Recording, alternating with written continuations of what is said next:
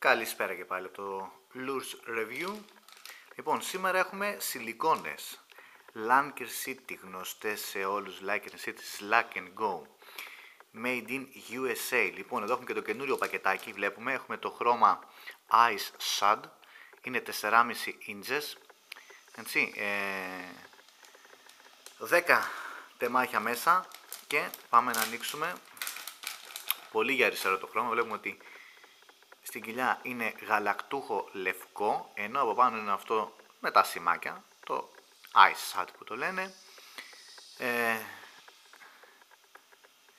πολύ μαλακή σιλικόνη, για να δούμε, είναι, έχουμε και το μέτρο εδώ, να τη μετρήσουμε ακριβώς, είναι στους 11 πόντους.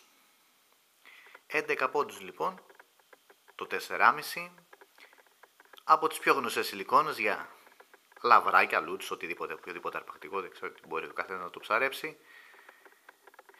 Ε, iSad λοιπόν, με την ωραία συσκευασία, την καινούρια, με την καινούρια συσκευασία να ανοίγεις, παίρνεις, βάζεις μέσα, έχει εδώ αυτό και ξανακλίνεις, έτσι. Εδώ, το πατάς, το ζορίζεις και ξανακλίνει. Lanker City Slack and Go.